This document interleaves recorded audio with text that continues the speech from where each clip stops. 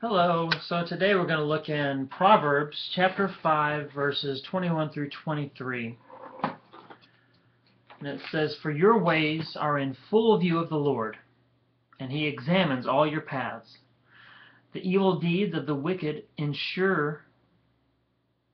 Uh, I can't read my writing.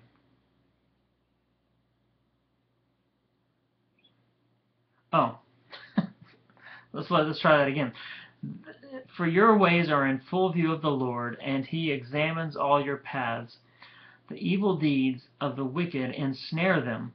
The cords of their sins hold them fast. For lack of discipline, they will die, led astray by their own great folly.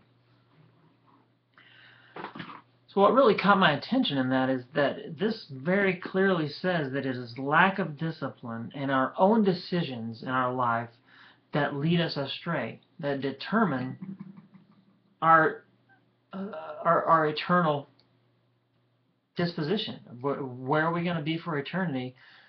It depends on our discipline and the decisions that we make.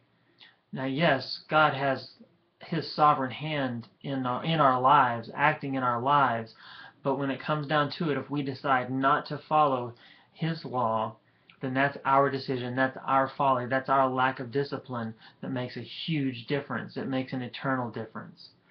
And so it's this is something that I've said over and over again is that following the Lord and uh, obedience to Him doesn't just happen. Our natural sinful self wants to do our own thing. So it's an actual conscious decision to follow God. It doesn't take a conscious decision to not follow Him because we do that. But it takes a conscious decision, it takes discipline to do what the Lord says. And if we don't do that, if we aren't disciplined, then it, it is we risk our eternity on that. So we have to develop a habit of discipline and following the Lord. And one of the best ways that we can do that, to practice that, and to train ourselves to do that is through fasting. Because eating is a natural thing. Just like sinning is a natural thing. Well, we can make a decision not to eat. It's against it's not natural, it's against what our bodies are telling us to do, but it's it's us putting our spirit first.